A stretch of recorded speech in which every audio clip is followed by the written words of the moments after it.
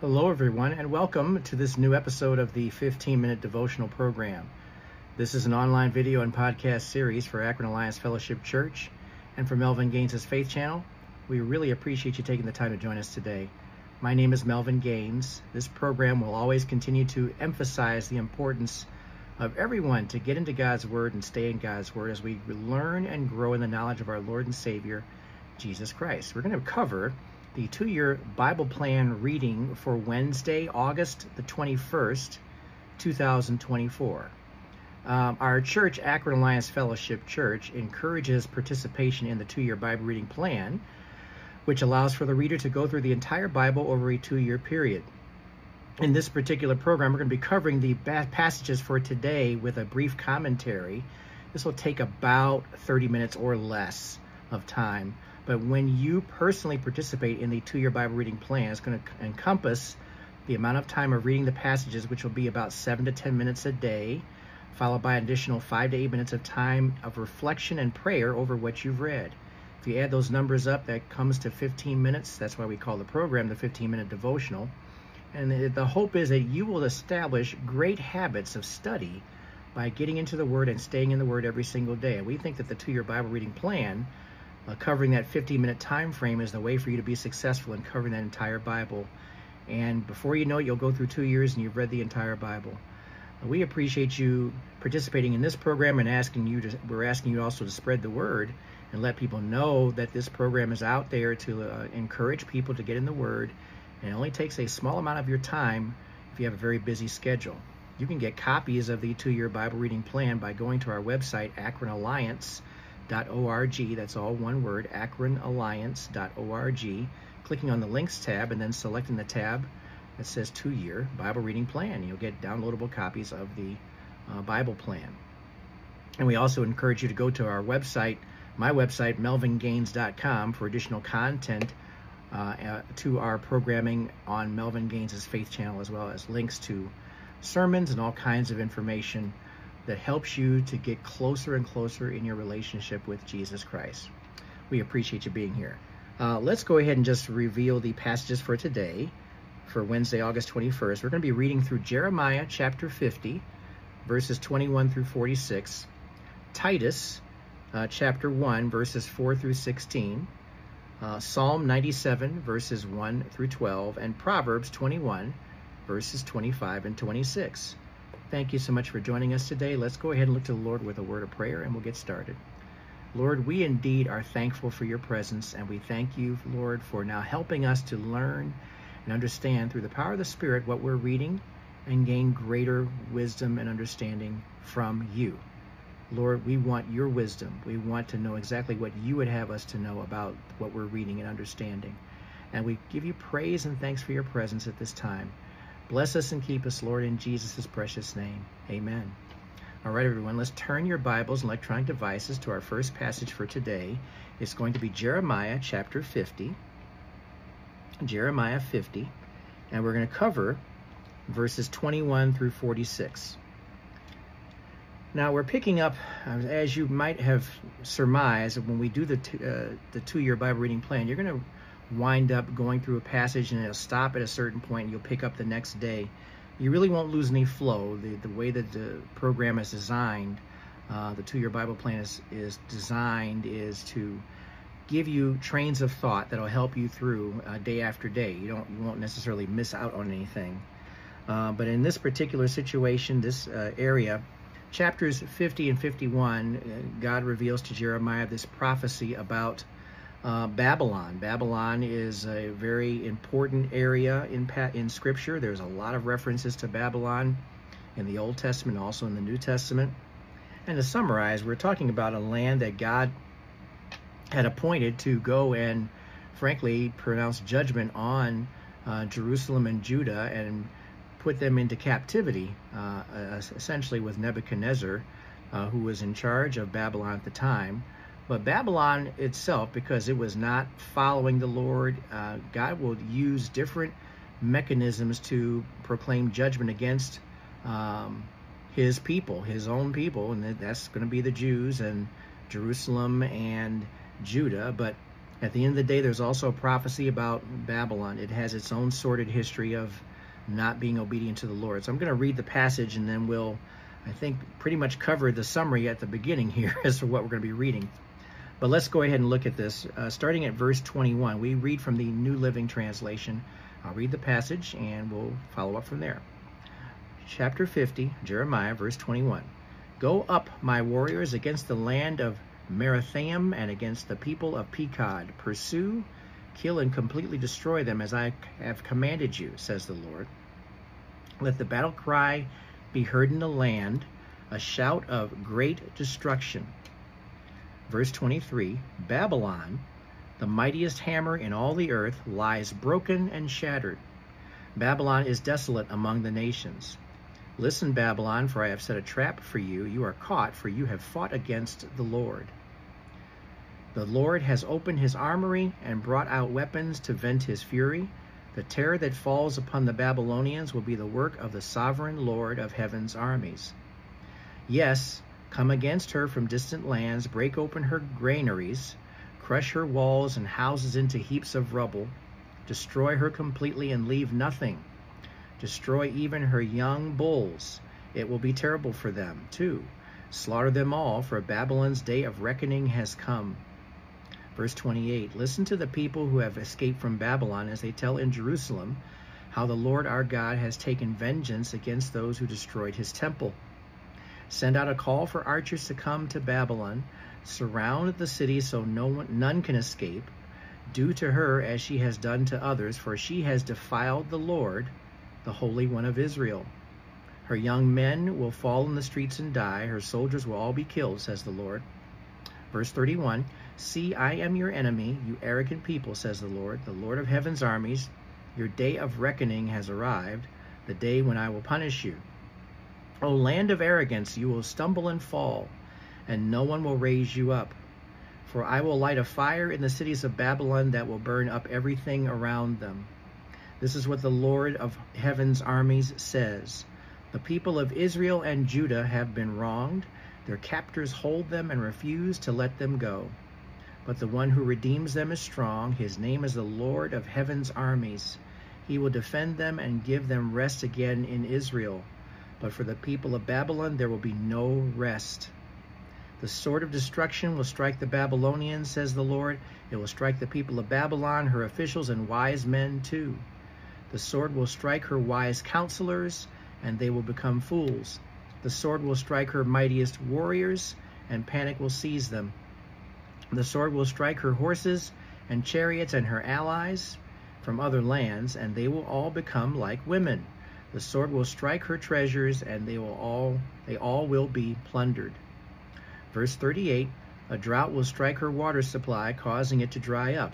And why? Because the whole land is filled with idols, and the and the people are madly in love with them. Soon Babylon will be inhabited by desert animals and hyenas. It will be a home for owls. Never again will people live there. It will lie desolate forever. I will destroy it as I destroyed Sodom and Gomorrah and their neighboring towns, says the Lord. No one will live there. No one will inhabit it. Look, a great army is coming from the north. A great nation and many kings are rising against you from far off lands. They are armed with bows and spears. They are cruel and show no mercy. As they ride forward on horses, they sound like a roaring sea. They are coming in battle formation, planning to destroy you, Babylon. The king of Babylon has heard reports about the enemy, and he is weak with fright. Pangs of anguish have gripped him like those of a woman in labor. I will come like a lion from the thickets of the Jordan, leaping on the sheep in the pasture. I will chase Babylon from its land, and I will appoint the leader of my choice. For who is like me? And who can challenge me? What ruler can oppose my will? Verse 45 Listen to the Lord's plans against Babylon and the land of the Babylonians. Even the little chicken will be dragged off like sheep, and their homes will be destroyed. The earth will shake with a shout Babylon has been taken, and its cry of despair will be heard around the world. All right, this is the prophecy that was given. Uh, at the time, uh, Babylon was indeed the um, the one of the greatest places on earth uh, when we're reading about this and looking at this.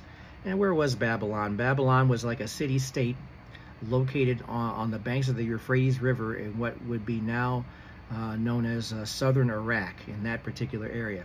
But that town does not exist. It does not exist. It's just as biblical prophecy has mentioned. We just don't have time to get into the references of uh, Babylon in the New Testament, but we're not really talking about an actual place. We're talking about more of a culture and a lifestyle because Babylon historically has never really followed God. It never has had a reason to. That was the place where we had the original Tower of Babel uh, that took place. We're referring to Nimrod, um, who was the one who was one of the first settlers in that area, who was a great mighty warrior. And we have to recognize that at the end of the day, they never followed God. They always were opposed to God. And God does indeed use those places uh, in in His history, uh, referencing the the uh, way we read in the Old Testament how He'll use lands where who are not following God to actually pronounce judgment, as I had mentioned, on the ones who are supposed to be following God, which are the Jews, the Jewish nation, and that's exactly what took place.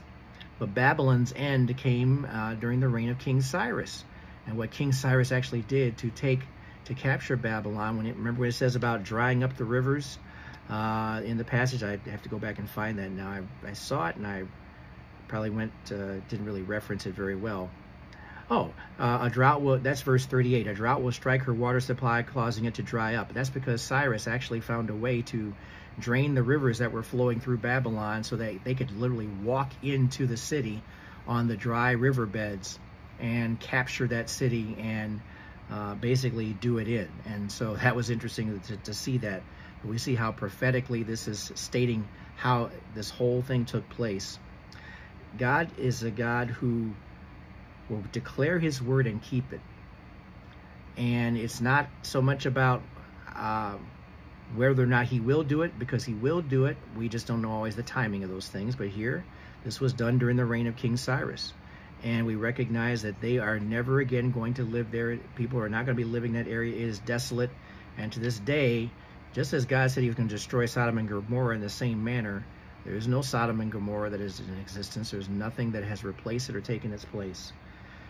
Very awesome words coming from God. He is a God who keeps his promises. He is a God who delivers, and he is a God who is faithful. He is not going to reward Babylon for what they did when they were uh, prophetically uh, stated that what they would uh, destroy Jerusalem and tear it down and 586, 587, 586 BC, um, 586 AD, excuse me, um, he was not going to BC. Going to say it correctly. It's BC. I'm sorry about that. Um, always want to make a correction uh, to make sure I'm doing it right. This is before the time of Christ, obviously. So we're recognizing that God indeed is a God of just justice. He is going to uh, fulfill the prophecy. He's going to make the declaration, the statement of that, of those things as well too. So I just wanted you to make a note of that. If you want to do some additional research about Babylon, and you can just do a search uh, for Babylon and what that represents and what it stands for. But at the end of the day, uh, we're talking about a culture, a people. Babylon, uh, the word Babel, where it comes from, means confusion. Who's the author of confusion? Satan is. That's essentially why we have the name, and that's why we refer to Babylon for what it is, and that's why it's significant when it comes to the Old Testament prophecy and also significant in the end time prophecy as well too. The name of Babylon. Let's go to Titus chapter 1. Thank you for bearing with me there. I'm going to be so careful about getting things the right way, and I'll, I'll even make a mistake in the process of saying something. So, but thank you for your patience. Titus chapter 1, let's look at verses 4 through 16. And we've got a pretty important passage here because it's actually going to be a passage that actually talks about the qualifications of an elder uh, within this very reading. So let's go ahead and look at this. Titus chapter 1, Titus 1, starting at verse 4. Let's, let's go ahead and read it now. I am writing to Titus, my true son, in the faith. This is Paul writing. That uh, true son in the faith that we share. May God the Father and Christ Jesus our Savior give you grace and peace. I left you on the island of Crete so you could complete your our work there and appoint elders in each town as I instructed you. An elder must live a blameless life. He must be faithful to his wife, and his children must be believers who don't have a reputation for being wild or rebellious. A church leader is a manager of God's household, so he must live a blameless life. He must not be arrogant or quick tempered. He must not be a heavy drinker, violent, or dishonest with money. Rather, he must enjoy having guests in his home, and he must love what is good. He must live wisely and be just. He must live a devout and disciplined life. He must have a strong belief in the trustworthy message he was taught. Then he will be able to encourage others with wholesome teaching and show those who oppose it where they are wrong. Verse 10 For there are many rebellious people who engage in useless talk and deceive others. This is especially true of those who insist on circumcision for salvation. Verse 11 They must be silenced because they are turning the whole families away from the truth by their false teaching, and they do it only for money. Even one of their own men, a prophet from Crete, has said about them, The people of Crete are all liars, cruel animals, and lazy gluttons. Verse 13 This is true. So reprimand them sternly to make them strong in the faith they must stop listening to Jewish myths and the commands of people who have turned away from the truth. Everything is pure to those whose hearts are pure, but nothing is pure to those are, who are corrupt and unbelieving because their minds and consciences are corrupted. Such people claim they know God, but they deny him by the way they live. They are detestable and disobedient, worthless for doing anything good. All right, that's the reading for Titus chapter 1, verses 4 through 16. First, early on in the passage we read, we saw the qualifications um, for an elder and what, what uh, Paul was uh, teaching Titus when, when he left him on Crete was to go and find elders. Go find elders and people who would be responsible for churches or leadership within the church. And essentially, when we look at the section uh, following uh, verse 6, um, these are the qualifications that are used today to determine if, for example, a church was looking for a pastor or a new pastor, let's say one was retiring, and they were looking for a new pastor, they would put out the qualifications uh, as if uh, they were doing a listing on Indeed or whatever it is uh, to, and they'll reference sometimes uh, the passage here in Titus chapter 1, verse 6 about, uh, and verses 6 and 7. These are the qualifications for an elder a blameless life, a person who lives a blameless life, a person who's faithful to his wife and children, and a person who doesn't have a reputation for being a wild person or rebellious. I think that's a pretty good qualification for someone who is in church leadership. A blameless life can't be arrogant, can't be quick tempered, you can't be a heavy drinker. Um, it's interesting that they reference heavy drinker. Uh, uh, you know, Timothy had to sometimes have wine because he had a weak stomach, right, to help to try to soothe his stomach. So drinking was not forbidden back then, but certainly he couldn't be a wild drunk or something like that, or a person who was dishonest with money. And he's got to be a person who lives a good, quiet life. And he's disciplined. And he is always striving to learn more, even in the faith. That's what a pastor, that's what an elder should be like uh, in leadership in a church. And I'd be remiss if I didn't mention the things that were mentioned here at the end of this passage and that we read about in Titus chapter 1. Um, there was still a lot of false teaching taking place, and uh, Paul was warning um, uh, Titus about this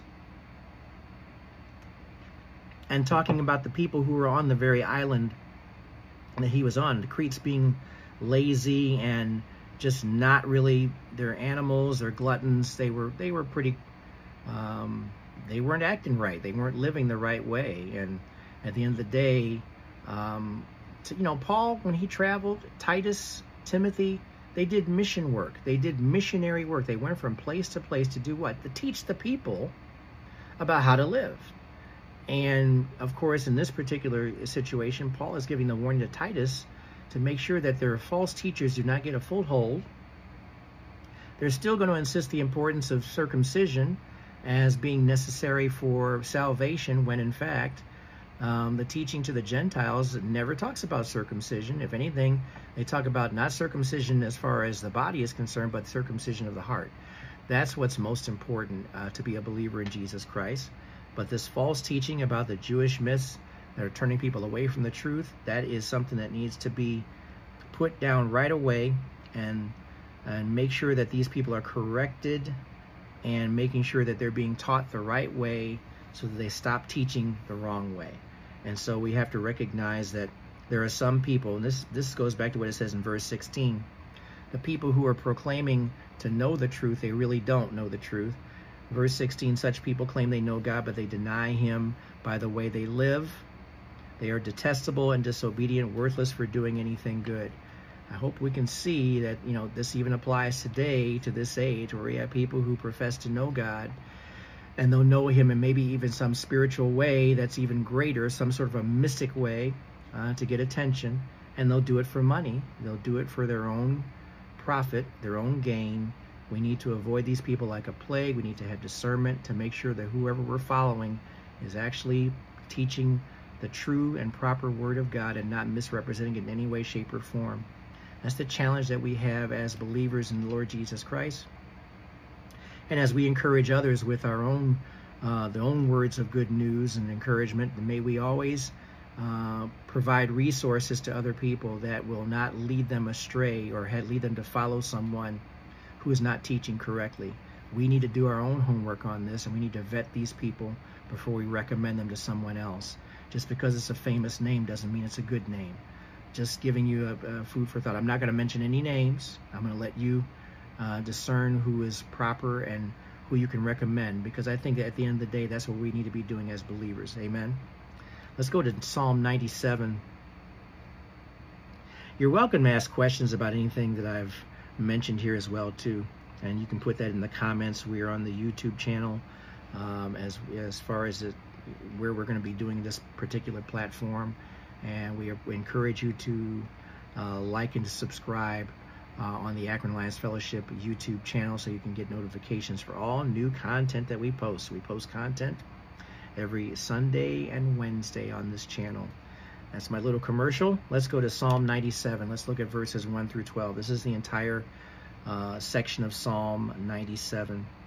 And this is a song of praise. I believe Psalms 95 through 99 are all uh, praiseworthy psalms or hymns.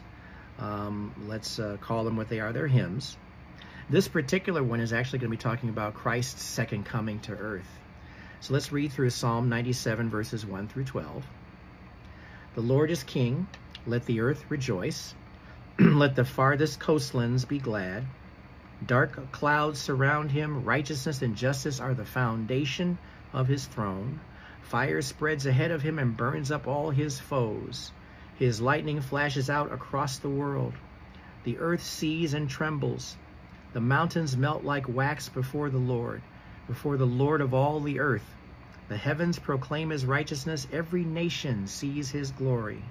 Those who worship idols are disgraced, all who brag about their worthless gods, for every god must bow to him. Verse 8 Jerusalem has heard and rejoiced and all the towns of Judah are glad because of your justice, O Lord. For you, O Lord, are supreme over all the earth. You are exalted far above all gods. You who love the Lord hate evil. He protects the lives of his godly people and rescues them from the power of the wicked. Light shines on the godly and joy on those whose hearts are right. May all who are godly rejoice in the Lord and praise his holy name. Okay, that's a psalm of praise, isn't it? Now, there is one section here I want to look at very quickly. Back at verse 7, I'll read the passage again really quick in Psalm 97, verse 7. Those who worship idols are disgraced, all who brag about their worthless gods, for every god must bow to him. Now, gods, I, the proper use of this should be translated angels. And there, you can go back and look at Hebrews 1 6 uh, I'll just read it for you. You don't need to turn to it. But it reads in Hebrews 1 6, and when he brought his supreme son, being Jesus Christ, into the world, God said, Let all of God's angels worship him. And what we have a tendency to do um, as human beings in the flesh, we, just like the Romans did back in the day when they had the pantheon, they would put these gods, different gods they worship on a shelf and they were all worthless. They didn't have any, they weren't alive, they weren't living gods. And at the end of the day, I think for our context and what we're looking at here, these worthless gods could very well be gods, but I think for the context of this thing here, we're not worshiping angels, we're not worshiping created beings. Amen. And remember that Satan is a created being because that's Lucifer, that's the fallen angel, Lucifer, a created being. We don't waste our time worshiping those things that are created beings. We want to make recognize that every God has to every God, being these angels, whoever we elevate to be a God, ultimately responds and re reports directly back to God Himself, the one who created them. So that's kind of a tricky passage to look at. We just wanted to make sure that we were looking at the context of it. Um, we don't need to be worshiping those things that are inanimate. Amen. We need to be worshiping uh, God Himself, who is alive, who is living, and He is presiding over everything that's going on. Who He knows the heart of every person, and He knows those who truly are uh, desiring to follow Him and trust in Him. Let's go to Proverbs for the final passage for today. Proverbs 21. We're going to look at verses 25 and 26. Proverbs 21, verses 25 and 26 as we usually read in the Proverbs, they are very straightforward. There's really nothing um, here that's difficult to understand. Uh, at the end of the day, uh, we're looking at something that's pretty obvious when we look at Proverbs. So if we read verses 25 and 26, Proverbs 21, verse 25, Despite their desires, the lazy will come to ruin, for their hands refuse to work.